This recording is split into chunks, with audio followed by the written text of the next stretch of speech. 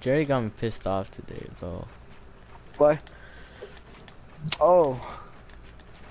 Cause of what he did. I fucking fell, mate.